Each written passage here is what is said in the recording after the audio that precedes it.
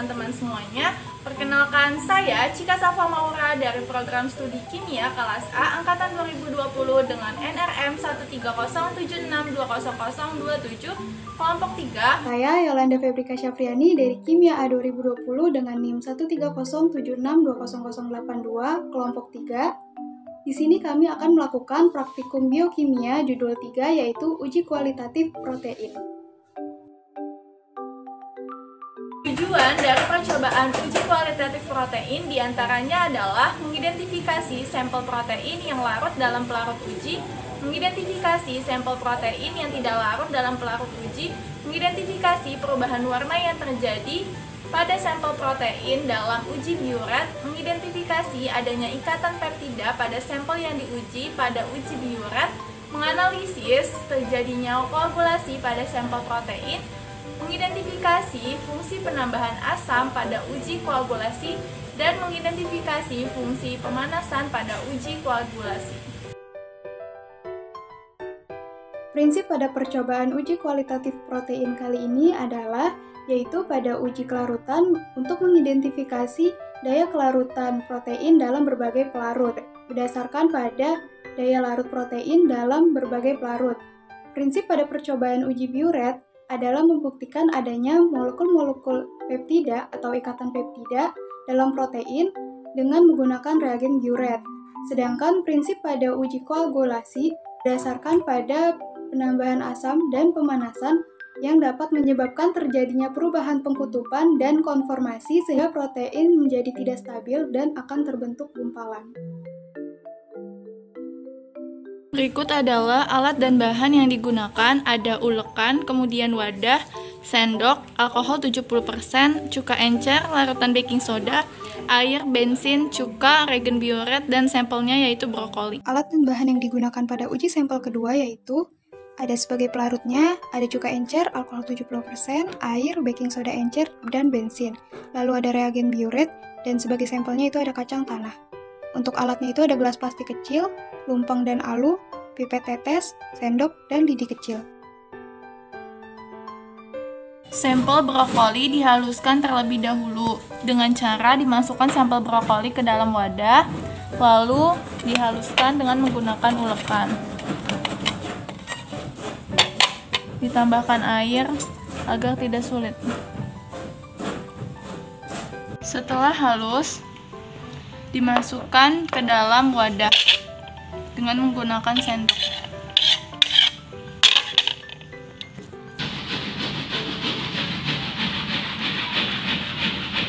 Uji yang pertama yaitu uji kelarutan pada suhu ruang. Sampel brokoli yang telah dihaluskan dimasukkan ke dalam masing-masing pelarut secukupnya.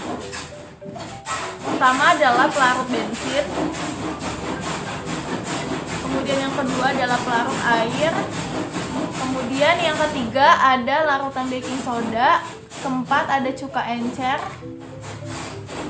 dan yang terakhir ada alkohol 70%.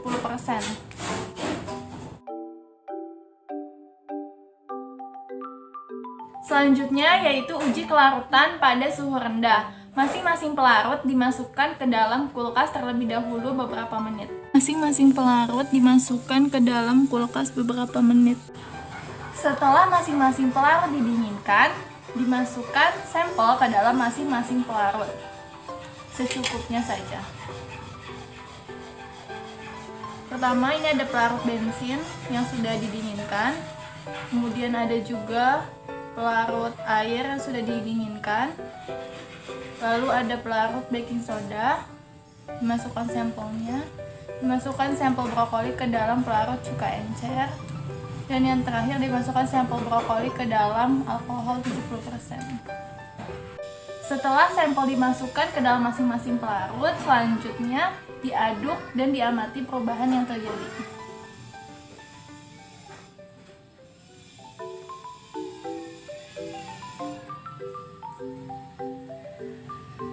Begitupun sampai seterusnya yang lain juga diaduk.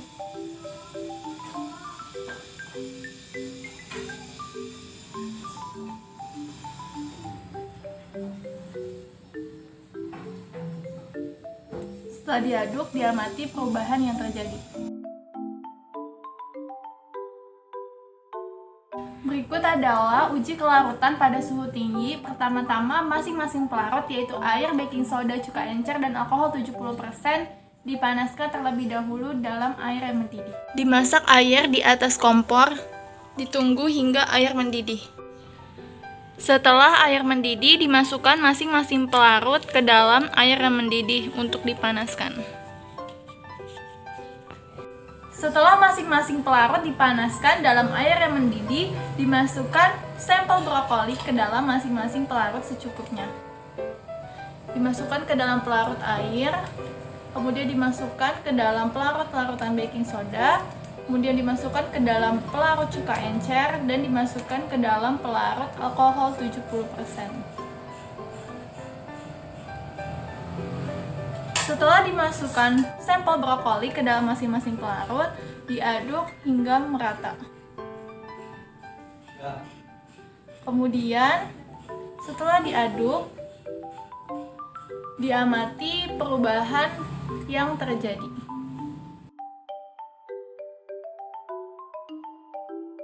Uji yang kedua yaitu uji koagulasi. Uji koagulasi ini ada yang tanpa pemanasan dan dengan pemanasan. Berikut adalah yang tanpa pemanasan terlebih dahulu. Pelarut cuka ditambahkan ke dalam sampel brokoli secukupnya, lalu diaduk dan diamati perubahan yang terjadi. Apakah terjadi koagulasi atau tidak? Setelah diaduk dan didiamkan beberapa saat, terjadi gumpalan. Hal ini menandakan bahwa terjadinya koagulasi. Berikut adalah uji koagulasi dengan pemanasan. Setelah ditambahkan larutan cuka ke dalam sampel, dipanaskan ke dalam air yang mendidih di atas kompor dan diamati perubahannya. Setelah ditunggu beberapa saat dan diamati, uji koagulasi dengan pemanasan terbentuk gumpalan. Hal ini menandakan bahwa terjadinya koagulasi. Uji yang ketiga yaitu uji bioret. Dimasukkan regen bioret ke dalam sampel brokoli secukupnya. Hingga terlihat perubahan yang terjadi.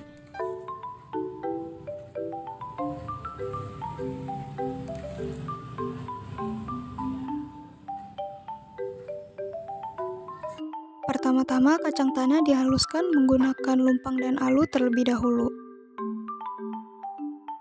Lalu ditambahkan sedikit air untuk mempermudah penghalusannya.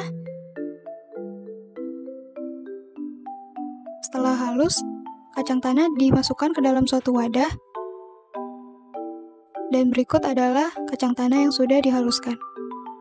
Pada pengujian suhu ruang, kacang yang telah dihaluskan ditambahkan ke dalam masing-masing pelarut kurang lebih seperempat sendok makan.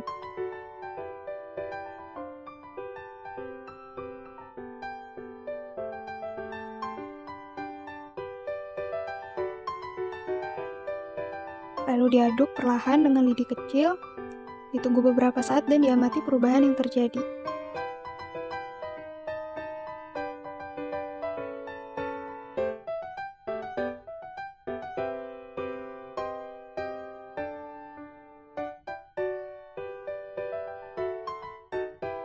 Berikut adalah hasil dari pengujian pada suhu ruang. Pada pengujian suhu rendah, masing-masing pelarut dimasukkan ke dalam kulkas selama beberapa menit. Setelah dingin, maka kacang yang telah dihaluskan ditambahkan ke dalam masing-masing pelarut kurang lebih seperempat sendok makan.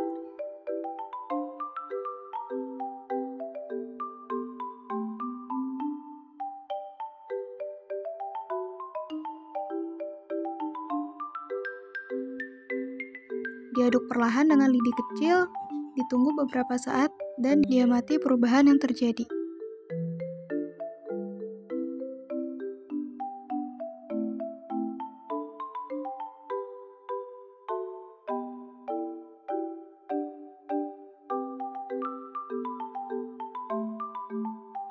Dan berikut adalah hasil dari pengujian suhu rendah.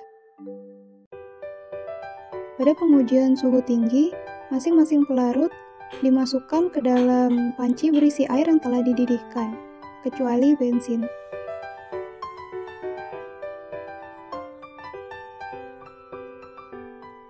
Setelah itu kacang yang telah dihaluskan ditambahkan ke dalam masing-masing pelarut kurang lebih seperempat sendok makan.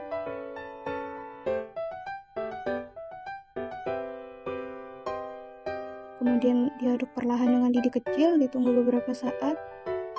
Ditunggu beberapa saat dan diamati perubahan yang terjadi.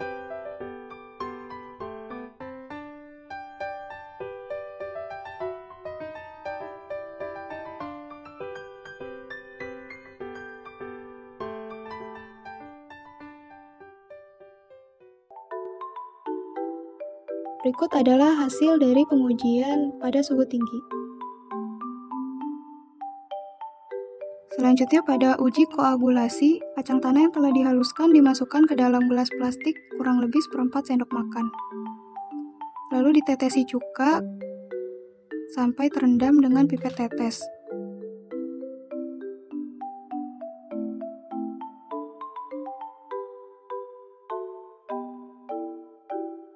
Diaduk perlahan dengan lidi kecil, ditunggu beberapa saat, dan diamati perubahan yang terjadi.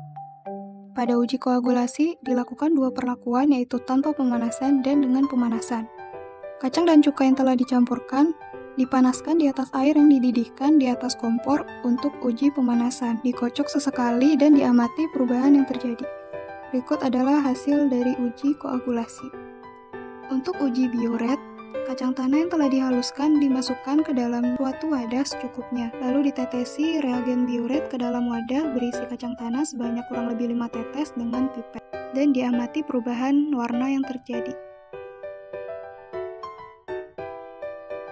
Pada percobaan uji kualitatif protein, dilakukan tiga uji, yaitu uji kelarutan, uji koagulasi, dan uji bioret. Untuk uji kelarutan dilakukan tiga perlakuan yaitu suhu ruang, suhu dingin atau suhu rendah dan suhu tinggi.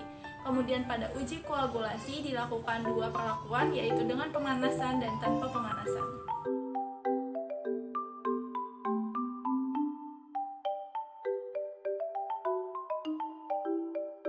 Berdasarkan hasil uji kelarutan, sampel brokoli larut dalam pelarut air, alkohol 70%, cuka encer, dan larutan baking soda, sedangkan tidak larut dalam pelarut bensin. Hal ini disebabkan karena air alkohol 70%, cuka encer, dan larutan baking soda bersifat polar, sedangkan bensin bersifat nonpolar. Protein larut dalam pelarut polar dan tidak larut dalam pelarut nonpolar, sehingga brokoli mengandung protein. Berdasarkan hasil percobaan uji koagulasi baik yang dilakukan dengan pemanasan maupun tanpa pemanasan terjadi gumpalan.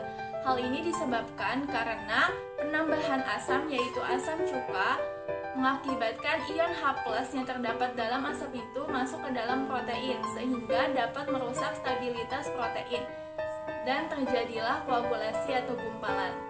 Lalu berdasarkan hasil percobaan uji biuret terjadi perubahan warna menjadi sedikit ungu tetapi dominan hijau karena protein yang terkandung dalam brokoli hanya terkandung sedikit. Berdasarkan literatur, dalam 100 gram brokoli terkandung 2 gram protein, sehingga warna ungunya tidak begitu terlihat, tetapi tetap dominan yang hijaunya. Penambahan bioret digunakan untuk mengidentifikasi adanya ikatan peptida pada protein. Dari percobaan yang telah dilakukan, didapat hasil bahwa pada uji kelarutan, kacang tanah dapat larut dalam air, cuka, dan sedikit larut dalam larutan baking soda. Hal ini karena kacang tanah masih mengandung albumin sebesar 22%, yang di mana albumin ini adalah larut dalam air. Namun, kacang tanah tidak larut dalam alkohol dan bensin. Karena kenapa? Bensin merupakan pelarut lemak yang di mana kita tahu bahwa protein itu, semua protein itu tidak larut dalam pelarut lemak. Untuk uji bioret didapat hasil bahwa terjadi perubahan warna menjadi keunguan, meski tidak ungu pekat, tetapi e, terjadi perubahan warna menjadi sedikit ungu. Hal ini menandakan bahwa memang terdapat protein atau ikatan peptida di dalam kacang tanah.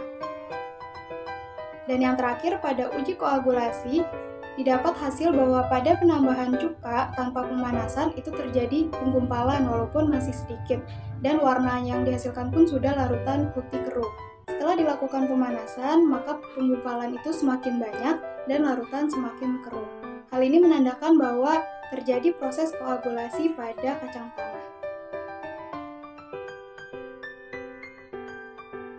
Dari percobaan yang telah dilakukan dapat disimpulkan bahwa brokoli dan kacang tanah mengandung protein dan memiliki ikatan peptida yang terbukti dari uji bioret yang terjadi perubahan warna menjadi keunguan. Untuk kelarutannya, brokoli larut dalam, air, alkohol, dan cuka encer, serta sedikit larut dalam larutan baking soda, namun tidak larut dalam bensin. Sedangkan pada kacang tanah, ia larut dalam air, cuka, dan sedikit larut dalam baking soda, namun tidak larut dalam bensin dan alkohol. Kedua sampel mengalami penggumpalan pada penambahan asam dan pemanasan. Fungsi penambahan asam adalah untuk menurunkan pH protein agar dapat terjadi penggumpalan. Sedangkan fungsi pemanasan adalah untuk membantu mempercepat proses koagulasi sehingga kemampuan mengikat airnya menurun. Sekian percobaan praktikum tentang uji kualitatif protein. Wassalamualaikum warahmatullahi wabarakatuh.